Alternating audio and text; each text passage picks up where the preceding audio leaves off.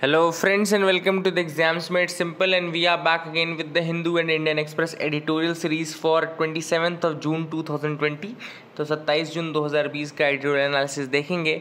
Before we start those who want to join the Tams portal और those who want to join the UPSC prelims 365 revision series which we are planning to start from 29th of June they can register at the links given the description and comment section below तो नीचे link दी है description comment में, आप register कर सकते हैं to that plan and you can see that video also which we have prepare for the registry for the revision plan की क्या क्या उसमें कवर रहेगा क्या क्या पोर्शन उसमें इंक्लूडेड रहेगा। तो उसकी नीचे, उसकी भी लिंक नीचे दी हुई है। So do visit that once and do like the video if you like the video अगर आपको कंटेंट पसंद आता है तो please do like the video as well let start with the question first पहले मेन्स के क्वेश्चन जिनके answer आप या तो आंसर लिख सकते हैं या फिर आप क्या कर सकते हैं कि पॉइंट्स दे सकते हैं. Just give us the points which you wanted to include that in the answer जिससे क्या होगा? अपना दो टॉपिक रिवाइज हो जाएगा. पहला है draft environment impact assessment notification 2020 under the guise of modernisation subverts the entire idea of E I A यानी कि जो draft environmental impact assessment notification आया है 2020 का। मॉडर्नाइजेशन के नाम पे वो सबवर्ट करता है पूरे के पूरे ई e के आइडिया को। तो अभी नीचे एडिटोरियल में हम डिस्कस करेंगे, उसके बाद आप ये आंसर लिखने की कोशिश करना। सेकेंड क्वेश्चन जो है, वो भी आज के ही एडिटोरियल से है। India today faces the unique challenge of guns germs and government spending तो थ्री जी प्रॉब्लम्स हैं, एक तरीके से थ्री जी प्रॉब्लम्स हैं। Guns germs and government spending highlight the challenges discuss ways to alleviate these challenges क्या क्या challenges हैं, इनको एलिवेट कैसे किया जाए इन चैलेंजेस को, ये आपको बताना है। So these are the two question जिनके आंसर्स आप लिखेंगे after listening to the entire analysis okay तो मूव करते हैं, पहला जो एडिटोरियल है, वो है getting out of the guns germs and steel crisis अब इन्होंने स्टील लिखा था, जिसको मैंने आके गवर्नमेंट गवर्नमेंट स्पेंडिंग कर दिया, ताकि तीन जी बन जाए और एक कोहरेंसी आ जाए, ठीक है ना? तो getting out of the guns germs and steel crisis में अगर देखते हैं तो इस एडिटोरियल में ऑथर ने जो बात की है बेसिकली वो बात की है, जो रिसेंट प्रॉब्लम्स हैं इंडिया में, या कहने से ग्लोबल लेवल पर लेकिन इंडिया की स्पेसिफिकली बात चल रही है तो इसमें तीन प्रॉब्लम्स हैं। पहली है गन्स गन्स की प्रॉब्लम जो बोली गई है, वो है बॉर्डर एरिया में, जहाँ पे एलएसी में इंडिया और चाइना के बीच में और पाकिस्तान के साइड में कश्मीर में काफ़ी ज़्यादा प्रॉब्लम्स हम फेस कर रहे हैं. So that is the first guns problem that we are facing बीस हमारे जवान शहीद हो गए. So that is the first problem second जो प्रॉब्लम है जम्स की जो बोला ऑथर ने, वो है the COVID nineteen problem the COVID nineteen और जो कोरोना वायरस की प्रॉब्लम है, वो that is the germs problem तीसरी जो है वह स्टील प्रॉब्लम तो steel problem basically representative of the economic challenges तो इकोनॉमी में जो प्रॉब्लम चल रही है उसको स्टील कहा गया तो ऑथर ने कहा है गन्स जम्स एंड स्टील मतलब कि गन्स आपका बॉर्डर पे चाइनीज़ जो मिलिट्री थ्रेट है। दूसरा आपका जम्स जो कि आपका कोविड नाइन्टीन है जो कि हेल्थ का एक तरीके से इशू है। और तीसरा है the economic collapse in India which is a enormous challenge that we need to overcome with prudent policy जिसको हमको जल्दी जल्दी दूर करना है। अब ऑथर ने कहा है the common thread between the three इन तीनों के बीच में कॉमन थ्रेड है गन्स जम्स और uh, आपके इकोनॉमी चैलेंजेस में वो है it they all all require great finances to alleviate इन तीनों को दूर करने के लिए जो ज़रूरी सबसे ज़्यादा चीज़ है, वो है फिनेंसेस बहुत ज़्यादा पैसा चाहिए उनसे दूर होने के लिए। अब हम एक एक करके बताएँगे सेक्टर वाइज बहुत अच्छा आर्टिकल है। एक एक करके ऑथर ने बताया किस तरीके जैसे गन्स फ्रंट पर अगर हम देखें गन्स की बात करें तो ऑथर ने कहा कि जब भी वॉर होता है, उस साल जो स्पेंडिंग होती है, बहुत ज़्यादा होती है। फॉर एग्ज़ाम्पल कारगिल वॉर जो 1999 में हुआ था पाकिस्तान के अगेंस्ट उस समय क्या हुआ था? लगभग 20 परसेंट हमारा डिफेंस बजट बढ़ गया था। Our defence budget increase by 20 percent and अगर हम अपने राइट्स को असर्ट करना चाहते हैं in the Chinese side of the border जो एल बॉर्डर है, यहाँ पर हम अपने राइट्स को असर्ट करना चाहते हैं तो China is mightier than Pakistan China is much more mightier than Pakistan therefore it will require a lot of for that also तो इसमें बहुत ज़्यादा फाइनेंसिस की ज़रूरत पड़ेगी। Government will have to spend additional two percentage points of GDP दो percentage point of D GDP के extra लग जाएँगे। गवर्नमेंट को अगर हम चाइनीज़ से सुपीरियोरिटी हासिल करना चाहते हैं, थोड़ा वहाँ पे अपने और ज़्यादा डिफेंस इक्विपमेंट्स को मज़बूत करना चाहते हैं तो ये गन्स फ्रंट पे जो फाइनेंस है, वो बता दिया। दूसरा है जर्म्स या हेल्थ केयर की बात करें अगर तो हेल्थ केयर का जो हमारे यहाँ वीकलिंग था, यानी कि हेल्थ केयर में जितना हमारा इंफ्रास्ट्रक्चर वीक था, वो पूरा एक्सपोज हो गया because of the COVID nineteen so this COVID nineteen has in वो fully expose India's inadequate health infrastructure हमारे यहाँ हेल्थ इंफ्रास्ट्रक्चर पूरा नहीं है प्रॉपर बेड्स नहीं है डॉक्टर्स के नंबर में कमी है हॉस्पिटल्स की संख्या में कमी है, ये सारी चीज़ें एक्सपोज हो गई because of the COVID nineteen the combined public health expenditure of states and central government is mere one point five percent of G D P अगर हम स्टेट्स का और गवर्नमेंट का सेंट्रल गवर्नमेंट का एक्सपेंडिंग देखें तो केवल one point five percent of G D P है, जबकि यही चीज़ चाइना में तीन परसेंट है अमेरिका में नौ परसेंट है. ओके तो चाइना में तीन परसेंट ऑफ़ जीडीपी जबकि उनकी जीडीपी ज़्यादा भी है, तब भी वो तीन परसेंट स्पेंड करते हैं। अमेरिका नौ परसेंट स्पेंड करता है, हम केवल one point five percent spend करते हैं।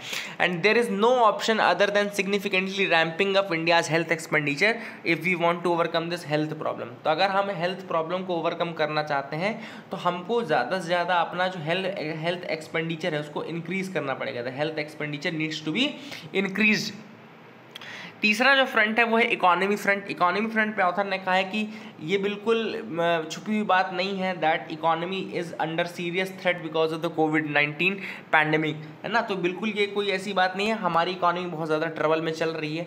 इकोनॉमी इतने दिन से बंद थी अब ऑथर ने कहा है there are four major drivers चार इंपॉर्टेंट पिलर्स होते हैं टू डिटरमाइन दैट पहला होता है पीपल्स स्पेंडिंग ऑन कंजम्पशन यानी कि लोग जो कंजम्पशन करने के लिए खर्च करते हैं, वो बहुत बड़ा एक फैक्टर होता है इकोनॉमी को बढ़ाने के लिए। दूसरा है government spending government spending is the second factor तीसरा है आपका इन्वेस्टमेंट इन्वेस्टमेंट तीसरा है जहाँ से आपको पैसा मिलता है है ना? और इकोनॉमी थोड़ा आगे बढ़ती है. एंड चौथा है एक्सटर्नल ट्रेड आप एक्सटर्नल ट्रेड जितना करोगे, आप जितना एक्सपोर्ट करोगे, आपको उतना फ़ायदा होगा एक्सटर्नल ट्रेड ठीक है ना? अब सबसे ज़्यादा जो इंपॉर्टेंट है वो है स्पेंडिंग बाय पीपल लोग जो खर्च करते हैं that is very important that is a very very important and that is the most important contributor also क्योंकि अगर सौ रुपये इंक्रीज इंक्रीमेंटल होता है जीडीपी का तो साठ से सत्तर जो होता है वो कंजम्पशन स्पेंडिंग से ही आता है, ठीक है ना? तो ये चीज़ इसलिए बता रहे हैं कि spending by people is one of the most important factor in that तो ऑथर ने ये कहा यहाँ पे कि द ओनली अब यहाँ पे अपने को अगर इकोनॉमिक इकोनॉमिक चैलेंजेस से बाहर आना है तो हमको और ज़्यादा लोगों के हाथों में पैसा देना पड़ेगा। अब ये पैसा कैसे देंगे? ये पैसा हम दे सकते हैं गवर्नमेंट स्पेंडिंग को बढ़ा करके। गवर्नमेंट स्पेंडिंग लेकिन अगर बढ़ेगी तो ये गवर्नमेंट के पास पैसा कहाँ से आएगा? तो ऑथर ने इसके दो रीज, दो चीज़ें बताई हैं, दो जगहों से पैसा आ सकता है। एक तो गवर्नमेंट आरबीआई खुद मनी को जो प्रिंट करे आर मनी प्रिंट करे, जैसे हेलीकॉप्टर मनी बोलते हैं हेलीकॉप्टर मनी आरबीआई खुद प्रिंट करे और गवर्नमेंट को मनी प्रोवाइड करे। दूसरा है एक्सटर्नल एक्सटर्नल आप बोरोइंग करो। बाहर से आप वो पैसा लो।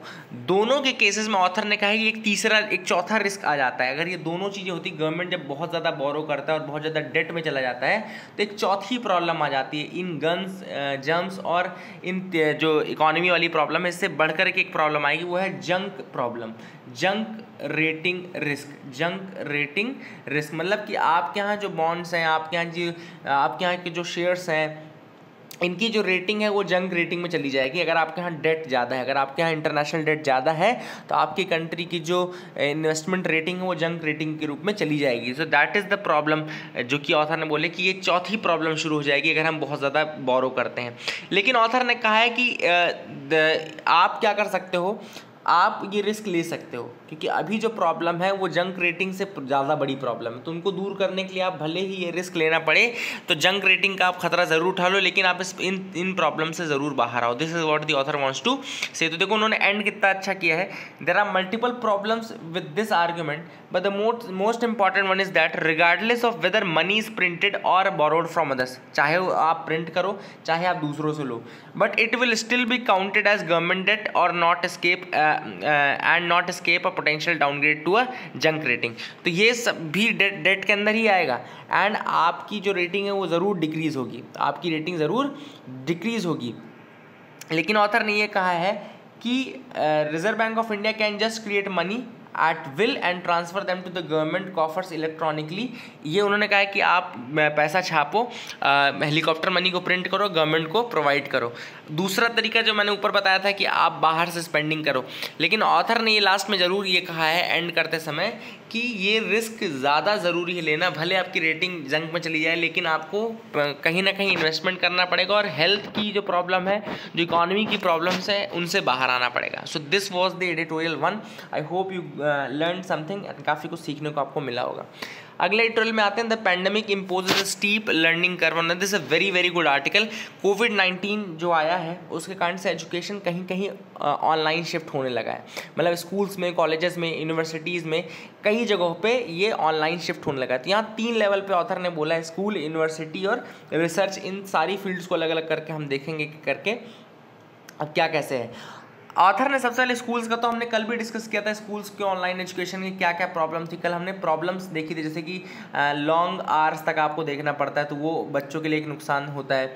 दूसरा है, घरों में अगर एक ही स्मार्टफ़ोन है या एक ही डिवाइस है तो भी काम नहीं चल रहा है। तो यहाँ पर काफ़ी ज़्यादा एक डिजिटल डिवाइड की बात हमने की थी कि डिजिटल डिवाइड है। कई लोगों के पास या तो इंस्ट्रूमेंट नहीं है स्मार्टफ़ोन लैपटॉप नहीं है। अगर किसी के यहाँ है तो यहाँ सफिशियंट नंबर में नहीं है, ठीक है ना? फिर एक हमने देखा था जो टेक्नोलॉजिकल प्रॉब्लम थी, जैसे कि इंटरनेट की समस्या, ये सारी प्रॉब्लम्स अगर हो जाती तो भी आप इन, नहीं देख पाओगे। ठीक है ना? नेटवर्क प्रॉब्लम तो ये स्कूल में हमने कुछ प्रॉब्लम्स देखे थे। ऑथर ने कहा है कि हायर एजुकेशन में higher education has gone digital wherever possible और else it has simply been put on hold तो जहाँ हायर एजुकेशन के केस में जहाँ भी पॉसिबल हुआ है, वहाँ तो हो गया। जैसे कि यूएसए और यूके में हो गया है ऐसा। यूएसए एंड यूके की यूनिवर्सिटीज़ ने अनाउंस कर दिया कि नेक्स्ट सेशन जो रहेगा, उसमें रहेगा। लेकिन एजुकेशनलिस्ट जो हैं और पॉलिसी मेकर्स हैं दे आर इसके still saying that online education has not lived up to the potential उनका अभी भी ये मानना है एजुकेशनलिस्ट का और पॉलिसी मेकर का कि जो ये ऑनलाइन एजुकेशन है it has not lived up to the potential अब इंडिया का ऑनलाइन एजुकेशन फोरकास्ट क्या बोलता है, ये देख लेते हैं। ऑथर ने कहा है कि online education will play a much bigger role but it is highly subject specific author ने कहा है कि इंडिया के केस में हाईली सब्जेक्ट स्पेसिफिक किसी केस में भी सब्जेक्ट स्पेसिफिक होना होगा ये। क्यों ऐसा होगा? क्योंकि ऑथर का कहना है कि जहाँ पर भी लेबोरेटरी या प्रैक्टिकल कंपोनेंट ज़्यादा रहते हैं, वहाँ पर आप ऑनलाइन एजुकेशन नहीं कर सकते। फॉर एग्ज़ाम्पल जैसे के एम एन ओ फोर का कोई एक्सपेरिमेंट करना है, ठीक है ना? या आप सल्फ़र गैस का एक्सपेरिमेंट कर रहे हो रॉटन एक्स वाला एक्सपेरिमेंट कर रहे हो तो रॉटन एक्स की स्मेल आपको जब तक आप लेबोरेटरी सेटिंग में नहीं रहोगे तो आपको उसकी स्पेल नहीं आएगी ना। आपको वो चीज़ करने के लिए लेबोरेटरी सेटिंग में जाना ही जाना पड़ेगा। के एम फोर को मिलाना पड़ेगा उसका उसका कलर चेंज देखना पड़ेगा आपको। ये सारी चीज़ें ऑथर ने इसलिए बोली है क्योंकि आप कई ये सब्जेक्ट स्पेसिफिक इसीलिए कहा जा रहा है ऑथर द्वारा कि क्या होता है कि आ, जब तक आप लेबोरेटरी या प्रैक्टिकल वाली चीज़ों को नहीं करते, तब तक आपको वो चीज़ समझ, देखने से समझ में नहीं आएगी। तो ये चीज़ ऑथर ने यहाँ बोली कि सब्जेक्ट स्पेसिफिक होता है। ठीक है ना? दिस इज़ फ़र्स्ट थिंग नॉ दूसरी चीज़ ऑथर कहते हैं द एडॉप्शन और integration of technology in education also depends upon specific institution and its location यानी कि वो इंस्टीट्यूशन कौन सी सिटी में है? सिटी में है या गाँव में है? या उसके आसपास टावर या नेटवर्क फैसिलिटी है या नहीं है? बैंडविथ क्या है? कनेक्टिविटी की क्या स्टेटस है? एंड फंडिंग का क्या स्टेटस है? तो ये सारी चीज़ें देखने के बाद ही आप डिसाइड करोगे कि वहाँ ऑनलाइन एजुकेशन आ सकता है कि नहीं आ सकता तो इन चीज़ों पे भी डिपेंड करता है। तीसरा जो ऑथर ने उठाया है, वो है रिसर्च का पार्ट कि beyond classroom lectures and courses there has been a serious impact on academic research during the COVID nineteen also तो एकेडमिक रिसर्च में भी काफ़ी ज़्यादा इम्पैक्ट पड़ा है, क्योंकि एकेडमिक रिसर्च में क्लोज इंट्रैक्शन होना चाहिए। आपका पीयर पीयर ग्रुप्स का क्लोज इंट्रैक्शन होना चाहिए। रिसर्च सुपरविजन के अंदर होती है and it is not clear when and how doctoral research and supervision can resume अभी भी ये क्लियरिटी नहीं है कि किस तरीके से डॉक्टोरल रिसर्च एंड सुपरविजन जो है वो आगे बढ़ेगा। कुछ और बॉटल भी हैं इंडिया में, कुछ और ड्रॉबैक्स भी हैं जिनको की दूर करना पड़ेगा। Most teachers in India view online education with caution the shift the shift online is in response to a crisis and was poorly plan India में जो शिफ्ट था ऑनलाइन की तरफ़, वो बहुत ज़्यादा पुअरली प्लान था. Online teaching is a separate didactic genre in itself online teaching अपने आप में एक अलग जेनर ही है. And one that requires investment of time and resources that very few teachers could come up with with in a hurry तो बहुत कम ही teacher ऐसे हैं जो कि इतने कम समय में ऑनलाइन एजुकेशन के साथ वन टू वन हो जाएँगे। इस कारण से जो ये शिफ्ट था, बहुत ज़्यादा पुअर था स्पेशली जो ऑनलाइन जो गवर्नमेंट स्कूल्स थे, वहाँ तो बहुत ज़्यादा पुअर था, ठीक है ना? अब ऑथर ने कहा है क्या क्या प्लेटफॉर्म्स है हमारे पास for online edu edu revolution तो एडू रेवोल्यूशन यानी कि एजुकेशन रेवोल्यूशन ऑनलाइन जो होगा, उसके लिए क्या क्या प्लेटफॉर्म्स हैं? तो हमारे पास एम ओ ओ सी यानी कि massive open online courses massive open online courses हैं। दूसरा इनको मिनिस्ट्री ऑफ़ एचआरडी जो ह्यूमन रिसोर्स डेवलपमेंट मिनिस्ट्री वो प्रमोट करती है। फिर आपका N national programme on technology enhance learning जैसा आपका एन पी टी एल में क्या होता है? एन पी टी एल में आपके आई I T I S C यहाँ के प्रोफेसर जो हैं वो वीडियोज़ बना करके डालते हैं। फ्री में आप देख सकते हैं गेट के लिए काफ़ी ज़्यादा यूज़फुल अगर आप गेट का एग्ज़ाम दे रहे हैं तो। देन स्वयं प्लेटफॉर्म स्वयं मतलब कि study webs of active learning for young aspiring minds study webs for active learning for young expiring mind ये क्वेश्चन आ चुका ऑलरेडी आ चुका यूपीएससी में स्वयं के बारे में, ठीक है ना? तो it is if this is to make a serious difference both the quality and quantity of online courses need to be enhanced तो अगर हमको चाहिए कि ऑनलाइन एजुकेशन डिफरेंस बनाए तो क्वालिटी और क्वांटिटी दोनों को ही इन्हेंस करने की ज़रूरत है, दोनों को ही इम्प्रूव करने की ज़रूरत है।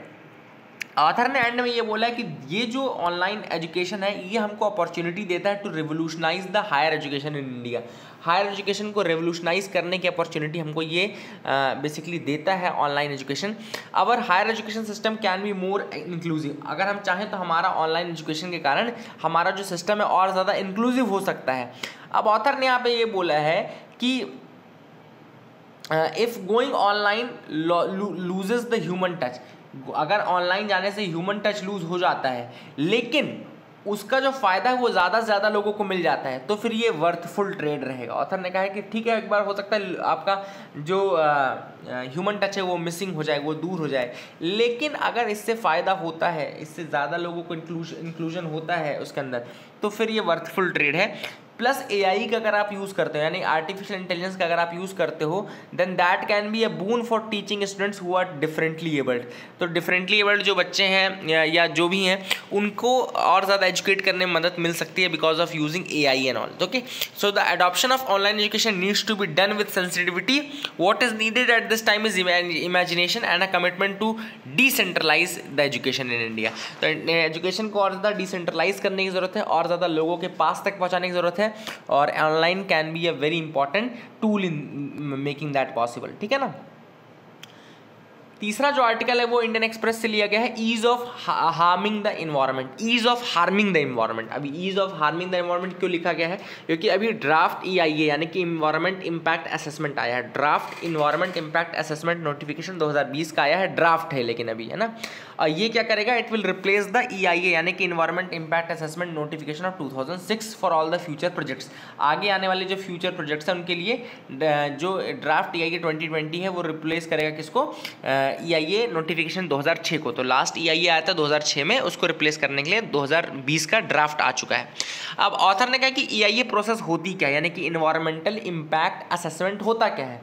तो it this is the process where scrutiny is done scrutiny किया जाता है कि पोटेंशियल इन्वायरमेंट इम्पैक्ट क्या होगा किसी प्रोजेक्ट का। किसी प्रोजेक्ट का इन्वायरमेंट पे क्या असर पड़ने वाला है? निगेटिव एक्सटर्नैलिटी क्या है उस प्रपोज प्रोजेक्ट की? कि उससे क्या क्या निगेटिव फॉलोआउट्स यानी कि क्या निगेटिव चीज़ें हो सकती हैं? देन उसके बाद ही आपको उसका अप्रूवल ये सब दिया जाता है। तो ये बहुत ज़्यादा डिटेल में कैरी आउट किया जाता है। तो ये डिसाइड किया जाता है कि उस प्रोजेक्ट को आगे बढ़ाना है या उस प्रोजेक्ट को मॉडिफाई करना है या उस प्रोजेक्ट को अबैंडन कर देना है। तो ये तीनों चीज़ें आपको पता चलती है कि whether you have to continue that project modify that project और अबैंडन दैट प्रोजेक्ट तो कौन सा प्रिंसिपल फॉलो करती है ई e की प्रोसेस ये काफ़ी अच्छा आर्टिकल है, काफ़ी कुछ सीखने को मिलेगा आपको। The principle followed in the EIA process is the precautionary principle तो यहाँ पर प्रिकॉशनरी प्रिंसिपल का यूज़ किया जाता है। प्रिकॉशनरी प्रिंसिपल मतलब environmental harm is often irreparable precautionary principle का मतलब है कि जो इन्वायरमेंट को नुकसान पहुँचता है, वो इरिपेयरेबल नुकसान होता है। फॉर एग्ज़ाम्पल एक बार अगर ऑयल स्पिल हो गया तो दोबारा उसको रिवर्स नहीं कर सकते। ठीक कर सकते हो, साफ़ कर सकते हो, लेकिन उसको रिवर्स नहीं कर सकते कि वो अंडू कर दो आप, है ना? We are legally bound to the precautionary principle under the international treaties and obligation as well as by the Supreme Court judgment the precautionary principle ऐसा नहीं कि वो एक ऐसा कहा सुना वाला टर्म है. It's a principle where we are legally bounded by the international treaties and obligation okay तो हम बिल्कुल इंटरनेशनली बाउंडेड हैं. ना what are the problems with the latest draft क्या प्रॉब्लम है लेटेस्ट ड्राफ्ट के साथ? सबसे पहली चीज़ ऑथर ने जो बोली जो प्रॉब्लम है वो ये है कि जो ये ई आई ए नॉम है उसमें एक एक्स पोस्ट फैक्टो क्लियरेंस का ऑप्शन आ गया है। एक्स पोस्ट फैक्टो क्लियरेंस का मतलब क्या हुआ? कि आप एक बार प्रोजेक्ट कर लो उसके बाद आप बाद में क्लियरेंस ले सकते हो। और अगर बाद में ऐसा लगता है कि उस प्रोजेक्ट से नुकसान हुआ तो आप नॉर्मल सी फाइन दे करके आ, उस चीज़ से बाहर आ सकते हो। मतलब कि आप अपने जो अपनी जो रिस्पॉन्सिबिलिटी उसको सिर्फ़ अपनी फाइन दे करके आप उससे पीछे छोड़ सकते हैं। मतलब कि वो प्रोजेक्ट एग्जीक्यूट हो जाएगा बट आपको फाइन देना पड़ेगा ये करना पड़ेगा। तो एक्स पोस्ट फैक्टो क्लियरेंस जो है ये अपने आप में बहुत बड़ा एक ए, बहुत बड़ा चेंज है जो कि बहुत गलत है and the basically that should not have happened तो ऑथर ने वही किया है कि it it will become a business decision to whether a law needs to be followed और the violation can be manage तो ये बिज़नेस का डिसीज़न होगा कि वहाँ पे लॉ को फॉलो करना है या कि ठीक है मैनेजेबल है। कि नॉर्मल फाइन दे करके इससे पीछे छूट ही जाएगा तो चलो प्रोजेक्ट को कैरी आउट कर लें। The argument that this route is an exception अब कुछ लोग ये आर्ग्यूमेंट दे रहे हैं कि ये जो रूट है एक्स पोस्ट फैक्टो क्लियरेंस वाला, ये एक्सेप्शन है। लेकिन ऑथर का कहना है कि इंडिया में एक्सेप्शन ही रूल होते हैं। जो एक्सेप्शन होते हैं, वही रूल बन जाते हैं इंडिया में, ऐसा ऑथर का कहना है। So this is an unbelievable fact दूसरी क्या प्रॉब्लम्स है? The scope of EIA regime is set to shrink क्यों श्रिंक होगी? The industries that previously fell under the categories that required a full assessment have now been downgraded क्यों E e का जो scope है वो कम होने वाला है? क्यों? क्योंकि पहले कुछ ऐसे प्रोजेक्ट्स थे जिनको कि कहा जाता था कि यहाँ पे फुल आपको ई e करने की ज़रूरत है। अब ऐसा कह देगा कि वही जो पहले फुल थे, अब उनको डाउनग्रेड करके कह दिया कि यहाँ पे इन बार हाफ़ EIA की ज़रूरत है या EIA की ज़रूरत है ही नहीं। तो ये ये चीज़ें हैं कि जो EIA का इम्पैक्ट है या जो EIA का स्कोप था उसको कम करने की कोशिश की जा रही है।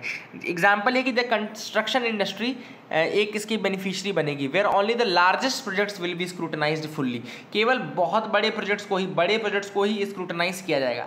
अब एक और इसमें चीज़ आ गई है कि पहले क्या होता था डिफेंस एंड नेशनल सिक्योरिटी के जो इंस्टॉलमेंट्स रहते थे, उनको एग्ज़ाम किया जाता था। बट अब एक नई वेग कैटेगरी बना दी गई है strategic consideration other strategic consideration तो इसके अंदर क्या अदर स्ट्रेटेजिक कंस्ट्रक्शन का मतलब कंसिडरेशन का मतलब क्या होता है? क्या उसके अंदर आप पावर प्लांट्स को भी उस कैटेगरी में आएँगे। तो ऑथर ने यही बोला है कि ये जो चीज़ें ये वेग हैं और ये चीज़ें ऐसी नहीं होनी चाहिए। थी these are the problems with the new E I A twenty twenty rules and author ने लास्ट में भी बोला है कि weakening of E I A process is essentially an anti democratic process तो जो अगर आप ई आई ए को वीक कर रहे हैं तो उसका ये एक एंटी डेमोक्रेटिक प्रोसेस है. एंड जो अफेक्टेड कम्युनिटीज़ रहती हैं, उनके साथ एक तरीके से आप धोखा कर रहे हो. एंड फॉरेस्ट एरियाज़ को बहुत सारी चीज़ों का आप नुकसान या जियो कर रहे हो. है ना? And public consultation is very much important and public consultation is a referendum on existential threats तो एक तरह से रेफरेंडम का काम करना चाहिए. लोग इसका अपोज कर रहे हैं तो आपको सोचना समझना चाहिए और उसको पास नहीं करना चाहिए। So these are the three which we discuss and I hope you learn a lot regarding these three काफ़ी कुछ आपको सीखने को मिला होगा। That is it for the day wait for our current affairs video which will be coming next thank you and have a nice day